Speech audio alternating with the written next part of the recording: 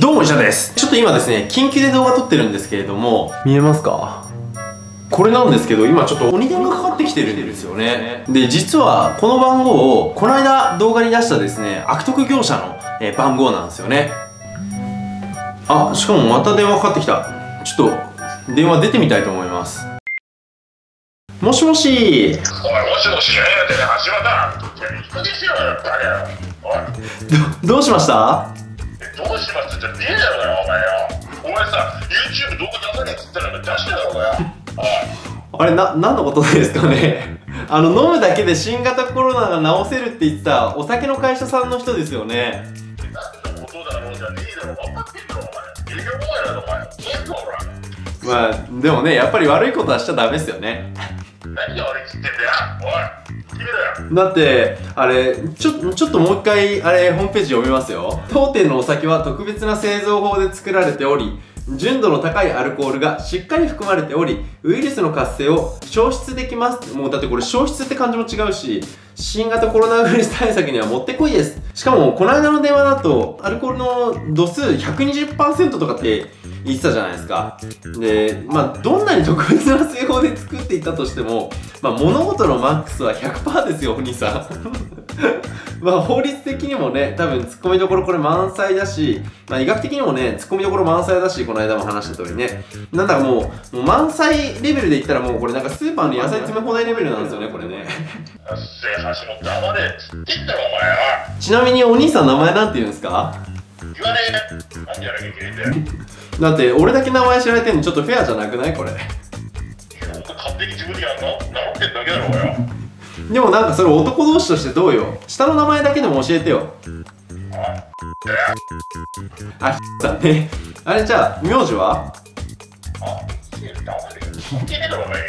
でもほらいいの男同士としてこう戦って喧嘩してるわけなんだけれどもこれ俺だけ名前明かしてて自分だけ名前言わないとかってちょっとダサくね？大丈夫？それ大丈夫だな。何戦いなんだよ。うっせったとつってんだから。恥ずかしくないの？それ自分だけ名字言わずに下の名前だけでついてんの？い。いい名前じゃない？さんさえもし新型コロナにかかったらそのお酒飲むの？あ、飲むよ。余裕だ。全然飲めるさ。あ本当に？120%の度数のお酒飲めちゃうあ、お前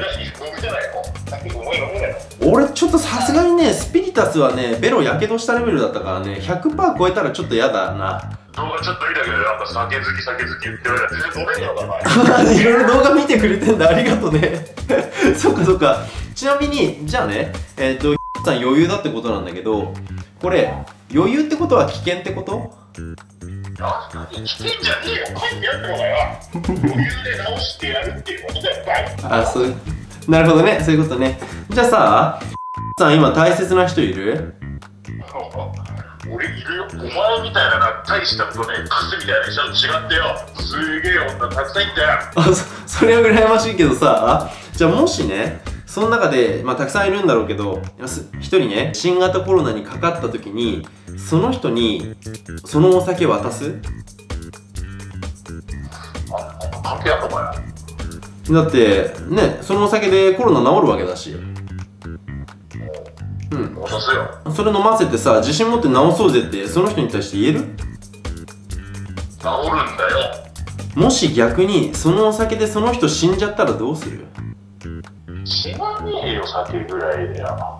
でもその人新型コロナにかかった状態でそのお酒飲むんだよ大丈夫？大丈夫、知らねえよ。わかんねえよ、俺だってよ。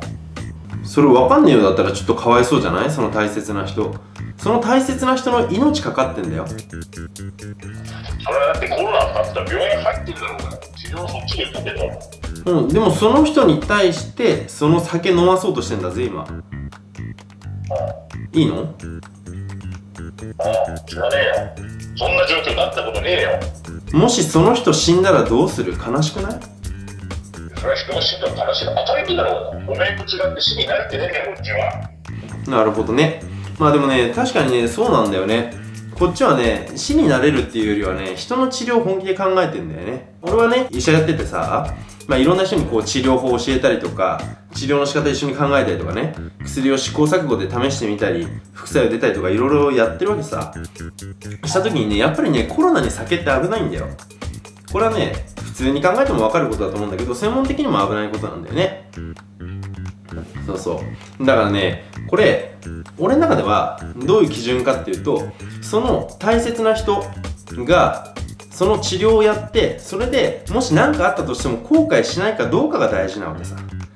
からもしさんがその大切な人にその酒飲ますかどうかわからないって言ったら多分その酒はねやめた方がいいんだわ。ご注文ありがとうございます。そうそうでちなみにさ自分のさ、まあ、今回その酒じゃなかったとしても例えば何かね薬を自分で開発してもしくは自分でその、えーすごい成分を見つけてでそれでその大切な人救ったりとかしたらさちょっと嬉しくない？わ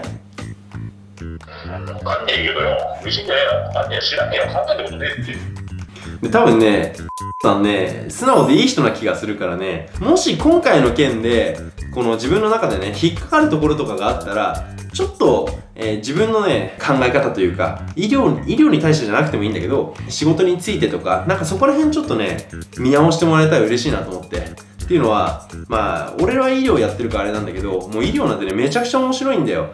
ドキドキするけど毎回毎回不安なことしかないんだけどでもねやってみると結構面白いんだよねまあ毎日おばあちゃんからみかんももらえるしね。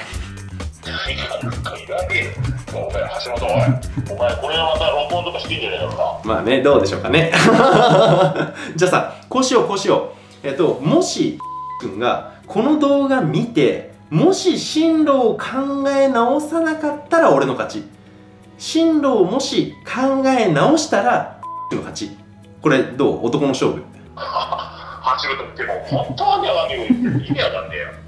っけ。自分の進路を考えて人のことを笑顔にするような仕事に就いたら勝ちでいいよそしたらね俺もね頭下げてあげる頭おかしいんじゃね。でもねやっぱりねこの酒とかね医療に対してとかねその副作用についてとかいろんなことってやっぱりね人を笑顔にするためには大事なことなんだよねでどうしてもねそこのところはね勉強してもらって、えーこういう酒とか、えー医療とかね薬とかね提供してもらいたいなっていうふうに思うわけだからねこれねやっぱりね男の勝負なんだわだからね多分ねいい人だからね多分分かってくれると思ってるで慣れ慣れしく呼ぶんじゃねえよ。てか、分かった。お前が納得するなら勝負でもなくても受けるよ。やるよ。お。いいねよしじゃあもしこれでねきちんと、えー診断を見直して俺がこういう仕事ついたぜっつって人喜ばしてるぜっつったらきちんとこの番号にもう一回電話かけてきてね。よし OK じゃあ勝負になったからここで電話切るね。俺忙しいからごめんね。じゃあね。バイバイ。じゃあね俺、言いたいこといっぱい。はいいい子だったね多分ね。いやわかんない。悪いやつかもしれないけど。でもこれでね進路見直してくれるようになったら俺の方でもこの動画撮った意味あるなと思うんでこれ見てくれてる俺のフォロワーさんたちこの人を応援してあげてください。どうしてもねやっぱねコロナでね仕事がなくなってる人もいるし一概に叩きたいとは俺は思ってないけどコロナに乗じてなんか美味しい思いしてやろうっていうまあそういう業者で今働いちゃってるからそういうのはねちょっと俺の中ではねまた電話かかってきてる。もし進路直してもし仕事を変えたぜっつって電話かかってきたらまた動画にするんでね。見てるか？お前頑張れよ。っていうことで皆さんものことを応援してあげてください。以上ドクターハッシーでした。ありがとうございます。